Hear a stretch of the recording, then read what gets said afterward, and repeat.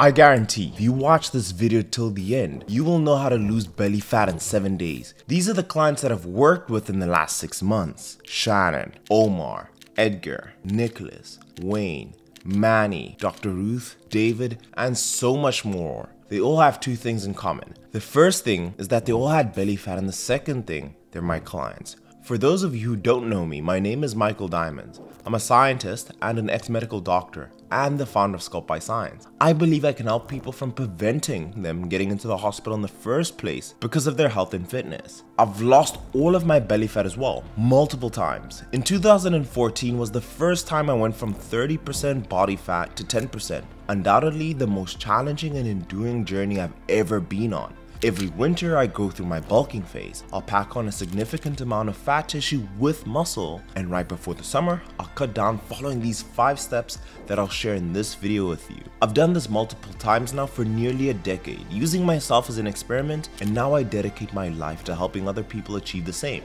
Calories is stored energy. This yellow part is represented by your fat tissue, which is stored energy. Think of it as a battery. So you have the belly fat and you can see the red here, which is your six pack. And it's in there. You can feel it sometimes if you press it. And this is what you typically do. You realize you have too much belly fat and then you start going to the gym just a little bit and you're seeing some progress and then you decide to eat a little bit healthier. You stop going to have a Starbucks Frappuccino and you decide to stop having a McDonald's. But it's not a significant enough debt and you're very irritated after about a month of trying. But you're seeing some progress but it's not anything significant. And this is where the worst part comes. After a month, you decide, you know what? I deserve a cheat meal and all of that work that you put in is actually erased. However, with what I'm going to show you in the rest of this video, if you follow it consistently for more than two months, three months, four months, you'll see it make a significant change and you'll see over time that your belly fat will reduce and then that's step one. Step two is going to allow you to see the next step and allow that speed up process to be even more.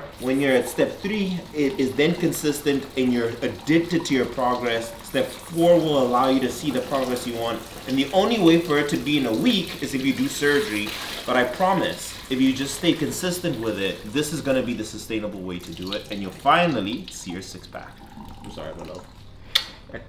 you can't lose belly fat in one week. What you can't do is lose all of it in one week. It's impossible to go from 30% body fat to 10% in one week or lose a tremendous amount of fat in that time. Fat loss is also not site specific. You lose fat holistically over time. But in step one, I'm going to show you exactly what you need to do to achieve the exact same result I have and all of my clients. So, step one, this is how your body burns and stores fat. It's happening right now. The green area represents your body storing fat occurring in response to a meal. The blue area represents your body breaking down fat occurring in response to fasting between meals and during sleep. Over a 24 hour period, these will be balanced, assuming you're not consuming more calories than you expand. Or the blue portions will be larger, burning fat if you're in a caloric deficit. To lose fat, you need to be in a caloric deficit consistently over time. And to lose that belly fat, you need to be in a caloric deficit. As you can see, your body's always either storing or burning fat, and it flips between these states several times every day, well, depending on your eating schedule. Now in the past, you would need to fill out this formula. I know that could be a pain, and before the information and technology I'm going to share with you now, you'd need to download an app, fill out your email, and it's just a tremendously tedious process before figuring out what your magic number is. What is your caloric deficit? This all changed on November 22nd, 2022. Chat GPT, which stands for Generative Pre-Trained Transformer. A robot you can talk to. That you can log on to and have a conversation with. AI became accessible to the public for free through a tool called ChatGPT. It is the most powerful tool in the world. For context, you may know this little search engine called Google. It took Google over a year to reach 100 million users. It took ChatGPT two months to reach the same milestone. You can now use AI to figure out how to lose belly fat. So this is what I want you to do. You're a health and fitness expert. I want to lose one pound of fat per week. I want you to calculate how many calories I need to eat to achieve this result. My gender, male. Age, 30 years old. Height, 5'8". Weight, 200 pounds. I want to train five times per week. That is crazy. So you need to consume 2,355 calories per day to approximately lose one pound of fat. I am working with my current coach Callum and I've been working with him for the last three months And as of today, I am now eating those exact same calories. The AI did this itself. It's pretty accurate, incredible.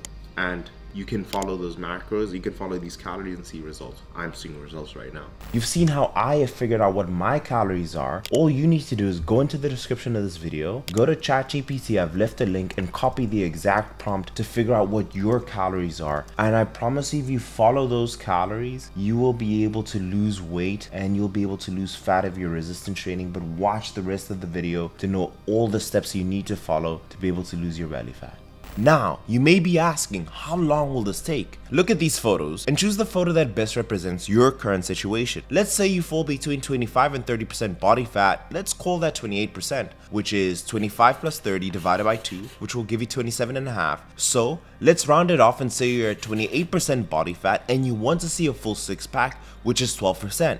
This means you need to lose 16% body fat. If you want it fast, you can lose 1% per week and it will take you 16 weeks, but it will be hard and you'll be hungry. If you want it slow and steady, you can lose about half a percent and it will take you 32 weeks, but it will be much easier. That being said, AI can only do so much. It can't interpret your energy levels on a day to day, or figure out why you're plateauing or intervening if something isn't going right. A week may pass and you're stuck, and it'll be hard to figure out why. This is exactly what I do for my clients. They're busy professionals, they're entrepreneurs, they're in the tech industry, or they're in the C suite of their job. They've crushed it in their career, and as a result, they've paid it for it with their health. If you want your energy back, you want a guaranteed way, and I will guarantee that you'll lose all of your belly fat you're done making excuses. Right now, scroll down and go into the description of this video. Fill out the application for one-on-one -on -one coaching with me and I'll get in contact with you and help you finally see your six pack. Step 2. The goal isn't to lose weight, it's to lose as much fat as possible and retaining or building as much muscle at the same time. And the only way we can do this is lifting heavy ass weight. You don't just want to get rid of the belly fat, but you want rock hard abs waiting for you once you've stripped off all those layers. And this is what I want you to do. Number one, build muscle through resistance training. When you perform resistance training, you can cause microscopic damage to the muscle fibers. Your body then repairs and rebuilds these fibers, making them larger and stronger. This process is known as muscle hypertrophy. I want you to also focus on increasing your strength. With regular resistance training, you'll see an increase in your strength. Each and every single exercise, try and grow up in the weights you use. The more weight you can lift, the bigger the muscle, and the same will go with your abs. Don't just do crunches, but do weighted crunches. That way, when you strip off that fat in step 1, you'll have rock hard abs waiting for you once all that belly fat is gone. This will change your body composition. Resistance training can help you lose fat while building muscle, which can improve your overall body body composition and give you that more toned look you're after. So we've opened Pandora's box and you're probably wondering where can I get a good training program for yourself? Well, let's rely on AI. And before asking AI,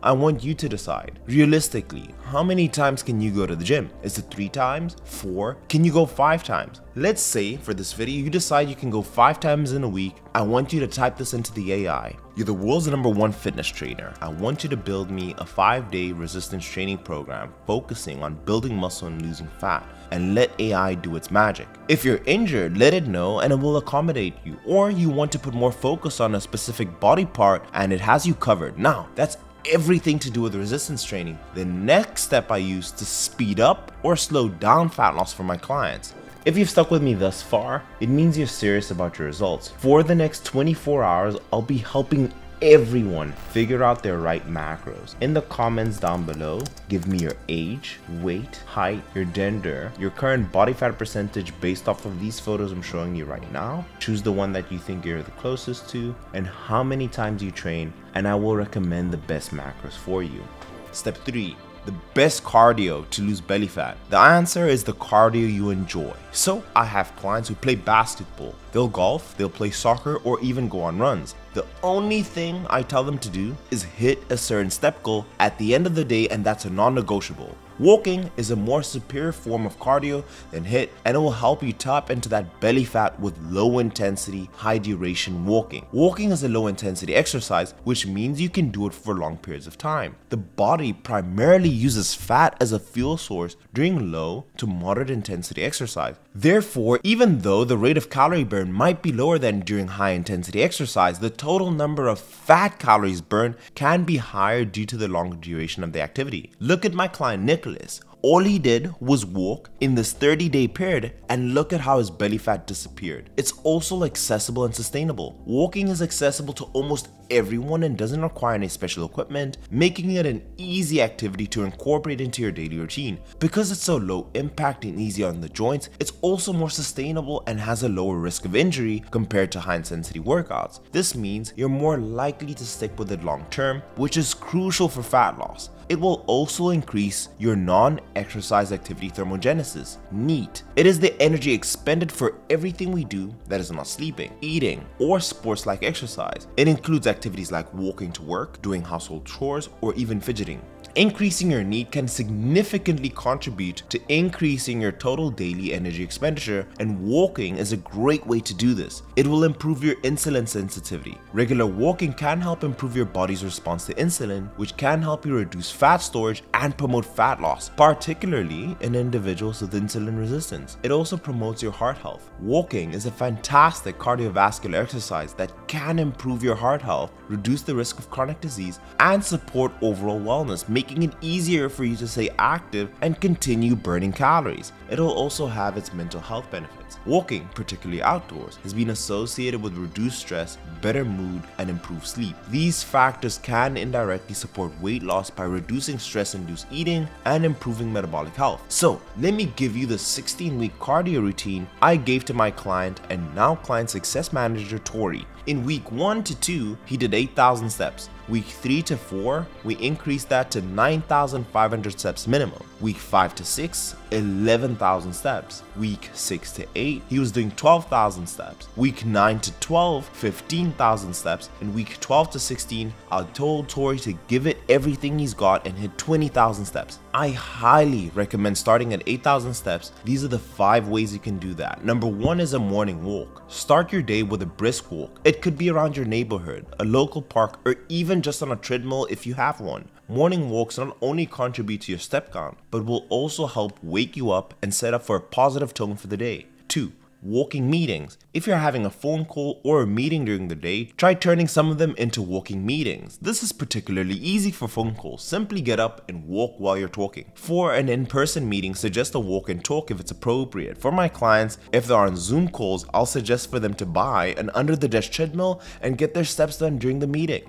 3. Walk on your breaks. Use your lunch break or other breaks throughout the day for the opportunity to get some steps in. Even a short 10 minute walk can add an extra 1000 daily steps. 4. Parking further away. If you drive to work or you're running errands, try and park further away from the entrance. For those extra steps between your car and your destination can add up quickly every time. 5. Setting up an hourly reminder. Sitting for long periods can cause step counts to be stagnant, so set a reminder to get up and move around every hour. It could be as simple as walking to the water cooler and back, or taking a quick lap around the office of your home.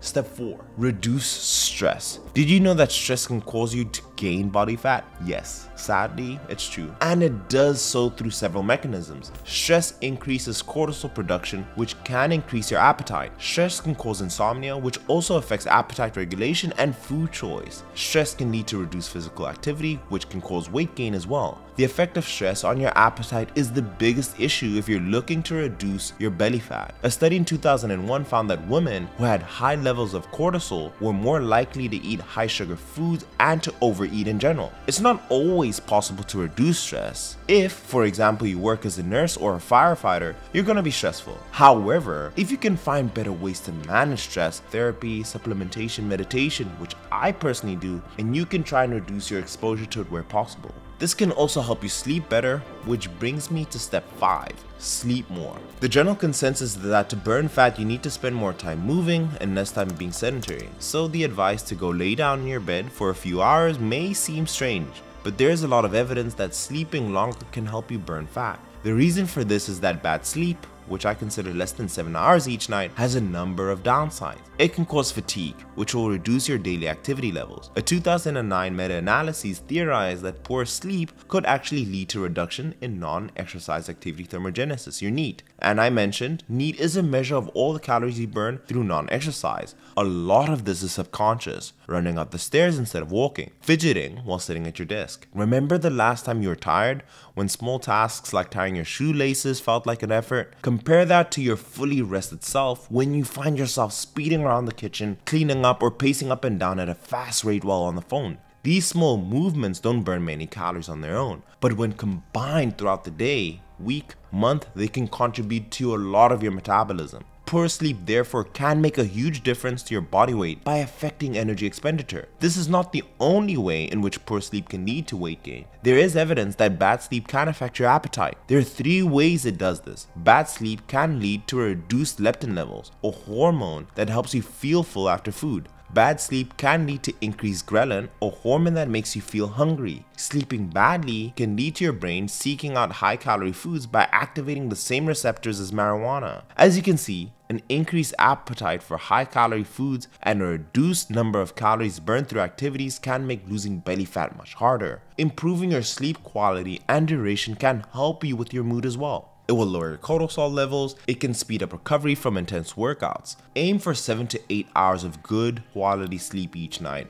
and you could see some serious changes on the scales. And the bonus tip, because you've made it this far, is be consistent. In all of my transformations, for me to even just lose that last part of my belly fat, it's taken me at least four months. And this is why my clients will work with me for a minimum of four months, because you won't see any change in one month. It didn't take you a month to become fat, it took you years. And the same will happen to be able to lose that belly fat, so be consistent. You may fail one day, you may fail one week, but as long as you keep getting back up and being consistent and going for it and going on a streak, you will see that belly belly fat come away. So, the only way you'll lose belly fat in one week will be through surgery, but I highly recommend against because you're not fixing the problem, you're treating a symptom and you're not treating the actual cause. So, be consistent, follow the tips I've left in this video, and if you want to work with me directly, you want me to change your habits, you want me to help you change the habits in your home as well, then fill out the application in the description below, and I'll get in contact with you. If you have questions, if you want me to help you figure out your macros, comment them down below, and I'll help you with that. If you did enjoy the video, and you're here, leave the video the gentle thumbs up, and I will see you in the next one. Cheers.